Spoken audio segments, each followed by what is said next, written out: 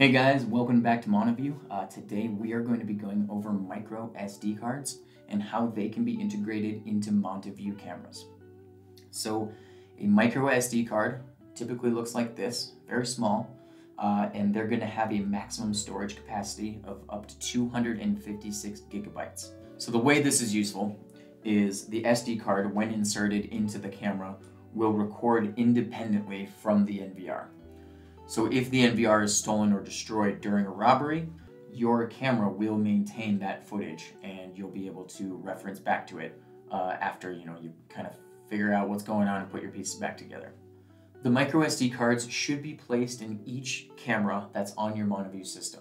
This is to ensure that when the time comes in an emergency, that you do have that backup footage available for that particular camera. Another really great reason to include the SD cards in each of your cameras in your system are if you live in an area that's really prone to power outages.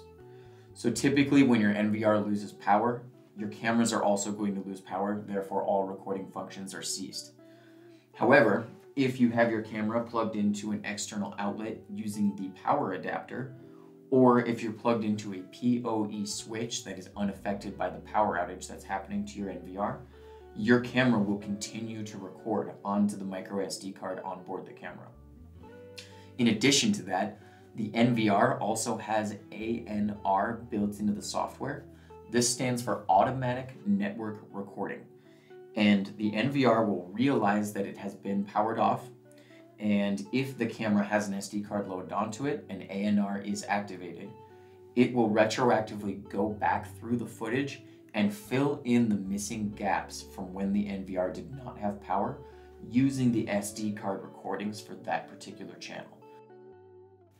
Alright guys, that's all the information I have about SD cards today. If you guys have any further questions that I didn't cover in the video, please feel free to call our customer service line. The guys are always happy to answer any questions you might have.